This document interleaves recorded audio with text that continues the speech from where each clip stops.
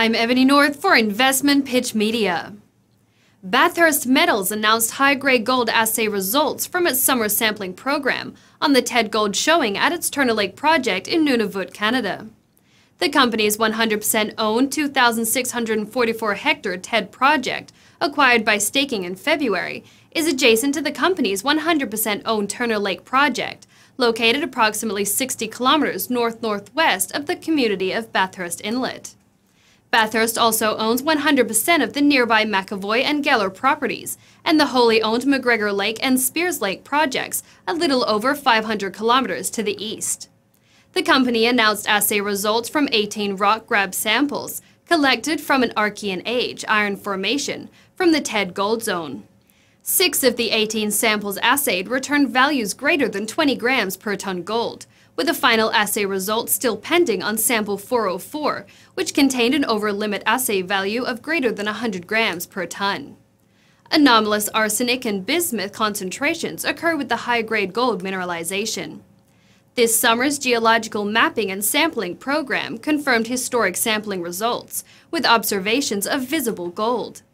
The area hosting these higher grade gold values has not been drill tested. The 7,072 hectare Turner Lake project also contains the main and east gold zones and the nickel knob, massive sulfide mineral deposits.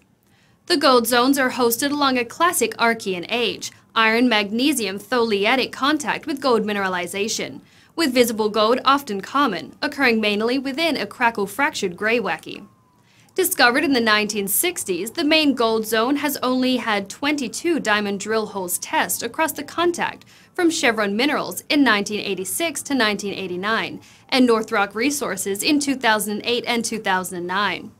Historical diamond drilling results from Chevron Minerals included 28 grams per ton gold over 4.75 meters, 12.86 grams per ton gold over 8.87 meters, 15.20 grams per ton gold over 4 meters, and 10 grams per ton gold over 4 meters.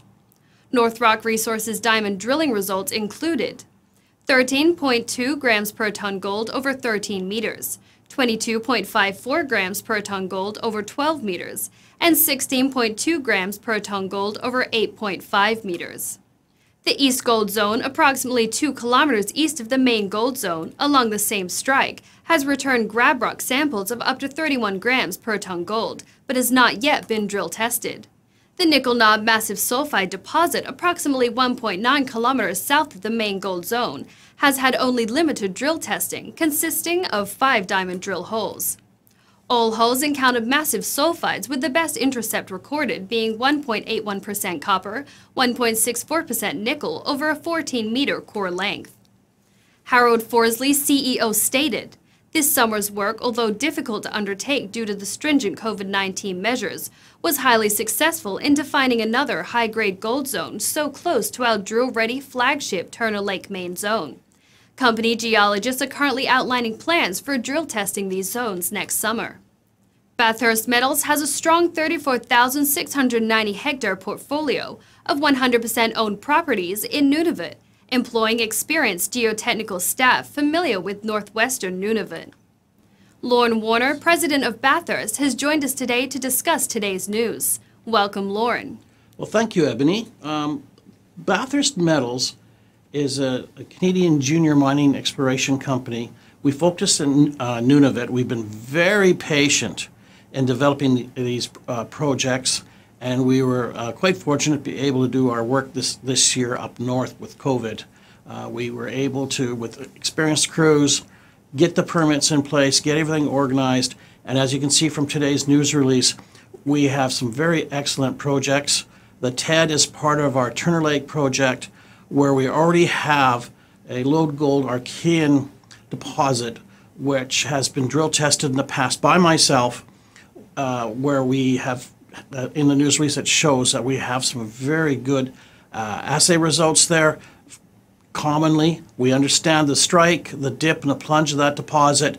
And now, with the TED also part of the project, uh, both projects for which are 100% owned by uh, Bathurst Metals, um, shows how much more work we need to do and drill testing as those assays show some very good results That area itself has never been drill tested, uh, where we we have those higher grade uh, gold values, and it just proves the point that there's so much to be found up there. Nunavut itself is becoming a very good exploration play. Uh, they are actually producing more metal value than the Northwest Territories, I, I believe, as of last year, just to show how much more work is happening up through that area. Very stable area. The Inuit, great people to work with, and it's a, it's a great place to be. We also, the company itself has uh, other very significant projects for which we worked on this year that we plan to uh, release those assay results when we get those results uh, finalized and compiled. And I, it'll just to go to show how good of company Bathurst Metals is and their dedication to the North. Thank you, Ebony. Back to you, Ebony. Thank you, Lorne. The company recently closed the first tranche of its previously announced private placement, issuing 2.5 million units at 10 cents per unit for gross proceeds of $250,000, and expects to close the second tranche for an additional 1.5 million units shortly. The units consisted of one share and one warrant, exercisable at 15 cents for 12 months. The shares are trading at 13 cents. For more information, please visit the company's website, bathurstmetals.com.